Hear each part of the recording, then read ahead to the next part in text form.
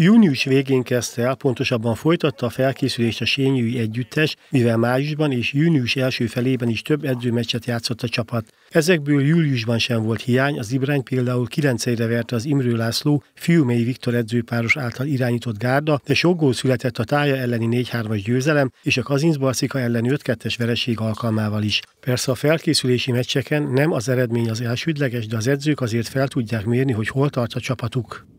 Felkészülésünk az jól sikerült, úgy érzem, hogy erőben meg vagyunk, játékban is meg vagyunk, még a héten van egy pici csiszolni való, de azzal sem lesz probléma a hétvégére. 6 hetes programot állítottunk össze, ebből 2 hét volt dupla edzés, hat edzőmérkőzést játszottunk, voltak nagy arányú győzelmek, nagyobb arányú vereségek is, úgyhogy jól sikerült az alapozásunk. Az állandóságra törekedtünk ebben az átigazolási szezonban is, mint egyébként mindig. Úgy érzem, hogy ebből nekünk lehet azért némi előnyünk a többi csapattal szemben, hiszen nem kell csapatot építenünk, nem kell összeszoknunk, úgyhogy már az elejétől kezdve tudjuk azt játszani, amit szeretnénk. Távozója nem volt a sényűnek, Orosz Máté és Mit Péter személyében két új futbalista csatlakozott a kerethez, így jelentős változás nem várható a csapatjátékában. Maradunk a megszokott játékunknál, ugye az új, a, a két új érkező játékost is próbáljuk ebbe a rendszerbe beépíteni. Egyébként két hadrendet próbálgatunk itt, külön-külön hazai pályán, meg külön az idegenbeli mérkőzéseken is.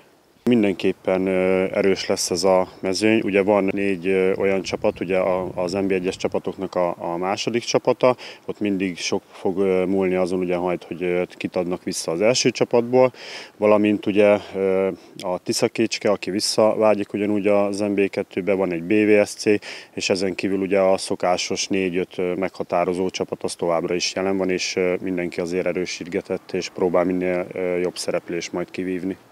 A 20 csapatos bajnokságban ősszel 21 fordulót játszanak le, így a szezon december 6-án zárul. Erős lesz az augusztus, másodika és 30-a között 7 meccsen lépnek pályára csapatok. A hétközi fordulók jelentenek némi nehézséget a csak amatőröket foglalkoztató sényű számára. Nálunk mindenki dolgozik a, a csapatban, vannak ételkiszállítóink is, akik hajna háromkor, fél négykor kelnek, ugye ez a hétközi mérkőzéseknél jelenthet esetleg problémát. Szó volt róla, ugye, hogy az MLS engedélyezni fogja az ötcsere lehetőségét, talán hogyha azt engedélyeznék, akkor, akkor könnyebben tudnánk átvészelni ezt az időszakot.